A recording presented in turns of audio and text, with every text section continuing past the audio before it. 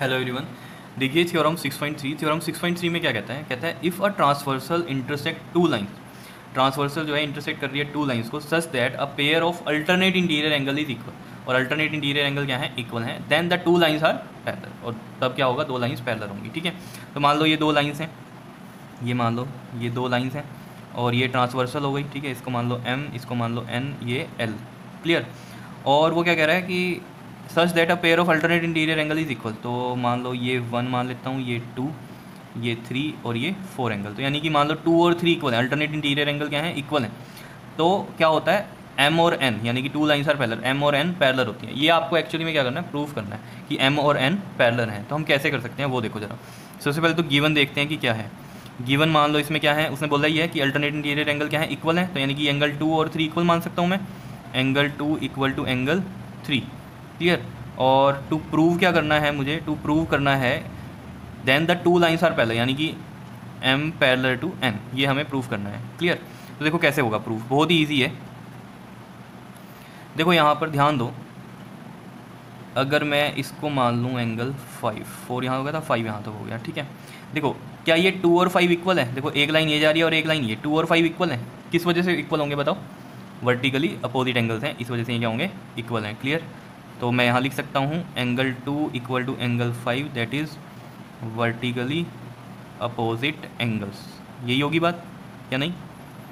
Vertical opposite angles क्योंकि देखो, दो लाइनें जैसे ऐसे इंटरसेक्ट कर रही हो तो ये एंगल और ये एंगल इक्वल होता है। समझ रहे हो ना? ये वर्टिकली अपोजिट होते हैं। ऐसे ये और ये इक्वल होता है। वर्टिकली अपोजिट ठीक है? तो ऐसे ही ये और ये क्या होगा? इक्वल होगा। और एंगल टू इक्वल टू क्या है? एंगल थ्री ये हमें क्या है? गिवन था अभी ऊपर। एंगल टू और ये थ्री के अल्टरनेट इंटीरियर एंगल इक्वल थे तो ये गिवन था हमें। या नहीं? ये चीज़ गिवन थी। क्लियर है? अब देखो, अगर मैं इसको फ़र्स्ट मान लूँ, इसको सेकंड इसको मान लो फ़र्स्ट और इसको मान लो सेकंड तो फ्रॉम फ़र्स्ट एंड सेकंड देखो, क्या आता है आपके पास? लेफ़्ट हैंड साइड इक्वल है तो राइट हैंड साइड क्या होने वाली है? इक्वल होने वाली है तो इसका मतलब यहाँ पर मैं लिख सकता हूँ कि एंगल फाइव जो है, वो एंगल थ्री के इक्वल होगा। और ये फाइव और ये थ्री ये कौन से एंगल्स हैं? पेयर कौन सा है ये, बताओ? फाइव और थ्री का। कोरस्पॉन्डिंग एंगल्स का, ठीक है? तो यानी कि कोरस्पॉन्डिंग एंगल्स इक्वल आ गए मेरे पास, और अगर कोरस्पॉन्डिंग एंगल्स इक्वल आ गए तो इसका मतलब जो ये दो लाइन्स हैं, ये क्या होंगी? पैरलर होंगी। ये एग्ज़ाम हमें हमने पढ़ा भी था अभी, ठीक है?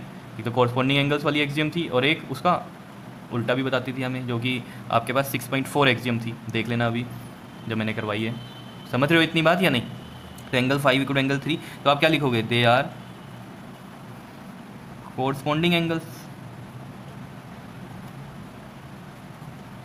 clear and by जो एक्जियम 6.4 है, उसको मैं बोल सकता हूँ कन्वर्स ऑफ़ कॉरस्पॉन्डिंग एंगल्स ठीक है?